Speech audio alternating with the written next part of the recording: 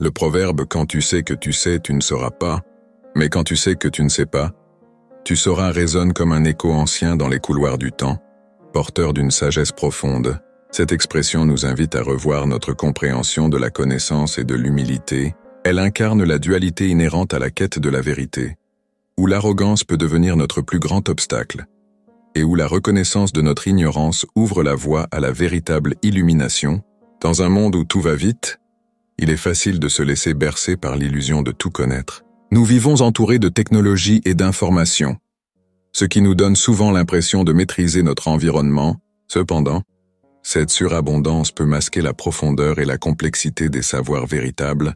La conviction d'avoir la réponse à tout crée une barrière mentale, un mur invisible qui nous empêche de voir au-delà de ce que nous croyons savoir.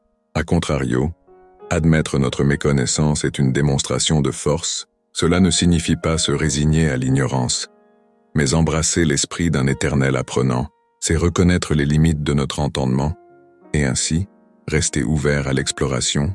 Cette ouverture est le terreau fertile, où germent les idées nouvelles et les percées significatives. L'humilité dans notre approche intellectuelle devient alors la clé pour déverrouiller des portes jusque-là insoupçonnées. Les plus grands penseurs de l'histoire ont souvent été ceux qui ont su remettre en question leurs certitudes Socrate, par exemple, enseignait que la sagesse commence par la reconnaissance de sa propre ignorance. C'est ce scepticisme sain qui l'a guidé dans une quête infinie de la vérité.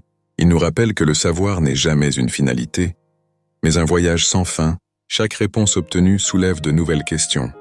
Chaque découverte conduit à des horizons plus vastes. En embrassant le fait de ne pas tout savoir, nous nous donnons la permission d'explorer et de contempler, cette attitude transforme chaque instant en une opportunité d'apprendre et de grandir. La quête de la connaissance devient une aventure fascinante, colorée par la diversité des perspectives et la richesse des découvertes.